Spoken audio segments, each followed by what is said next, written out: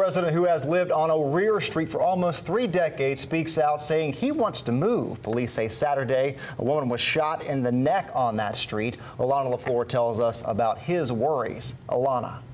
Josh Latricia, Franklin Bryant says when he moved into his home on O'Rear Street, he considered it a nice area.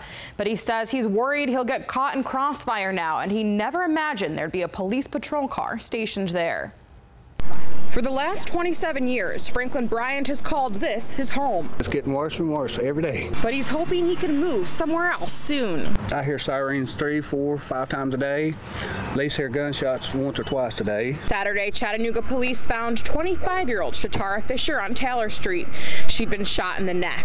Police say it happened on O'Rear and could be gang-related, like some of this week's other shootings. I'm basically afraid just to walk to the store. Afraid somebody in a gang might uh, pass by me going to the store. Well, if you want, if you want to be in this gang, shoot him. You know, I might be walking the store and get shot.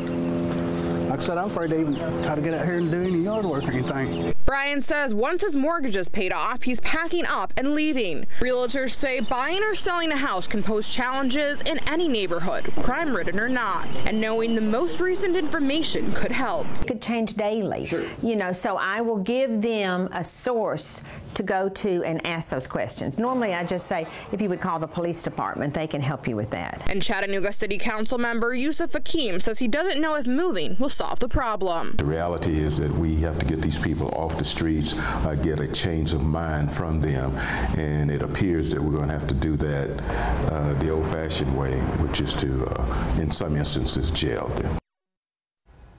I talked to neighbors on other streets where some of this week's shooting took place. Most of them told me they will not move. Josh. Alana, thank you. Franklin Bryant says he put a fence up about a year and a half ago for protection.